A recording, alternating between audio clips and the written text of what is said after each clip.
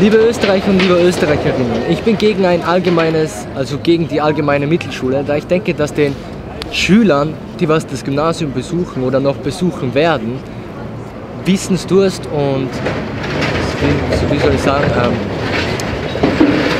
einfach der Wissenshunger gestohlen wird. Dadurch zum Beispiel, es gibt mehrere Diskriminierungen wie jetzt in der Schule als Streber oder als Nichtstreber und so bilden sich mehrere Gruppen. Das bedeutet, sagen wir, es gibt in der Mittelschule dann mehrere Leute, die wirklich studieren wollen, die wirklich eine Matura haben wollen. Und in der gleichen Schule sind dann auch diese Leute, die einfach nichts mit der Schule mehr zu tun haben wollen, arbeiten gehen wollen. Und ich denke mir, außerdem ist es auch in, der, in dieser Art, wenn ich sage, ich bin zwar ein Ausländer, aber es werden viel zu viele Ausländer auf eine Mittelschule gehen.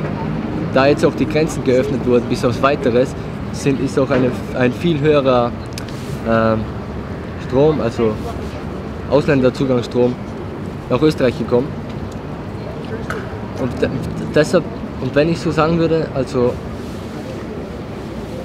wie soll ich sagen, ich weiß nicht, wie ich sagen soll. Ähm, das ist einfach scheiße, um das so auszudrücken.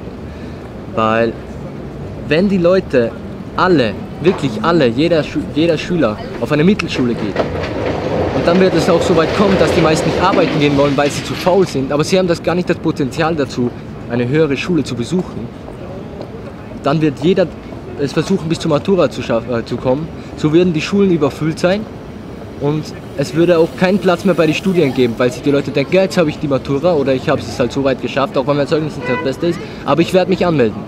Und ich finde, das ist einfach keine gute Idee, eine Mittelschule. Danke.